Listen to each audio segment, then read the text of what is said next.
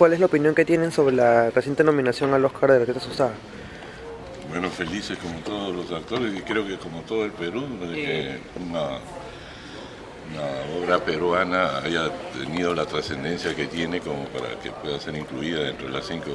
Ya, ya la nominación nomás es un triunfo clarísimo, ¿no? Y, y una felicitación para la chica Yosa, ¿no? que, que ha hecho un trabajo extraordinario y Magali también como actriz. ¿no? Sí, yo también eh, digo lo mismo que el maestro.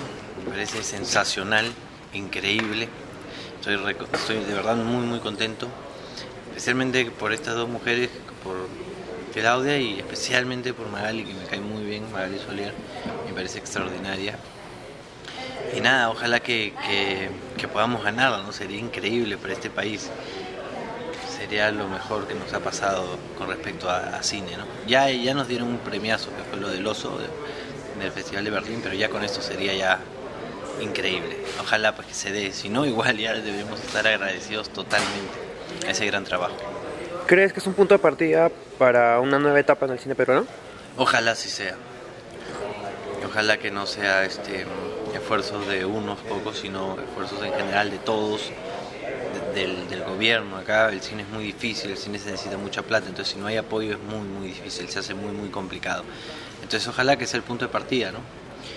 Esta chica lo ha hecho por sus propios medios y mire, mira hasta dónde ha llegado. Entonces, de hecho, tienen que mirar hacia, hacia, ese punto y, y nada, dirigir toda- todas, las, todas las energías para ahí y para que el cine siga creciendo, ¿no? Realmente no se le da una oportunidad este, seria de que las películas sean mostradas en esos circuitos. Eh, ¿Cree usted que eso es cierto? ¿Que es más un problema de, de difusión que de calidad este, en las películas? No, no creo que sea cuestión de calidad, porque siempre eh, las películas peruanas han tenido premios. Bueno, desde hace años, por ejemplo, yo me acuerdo de que en Panamá, que fuimos a un festival de cine, eh, La Muralla Verde de Robles ganó el, festival, ¿no? Entonces, este, y, otras ah, películas peruanas que, han asistido, o sea, la calidad la tienen.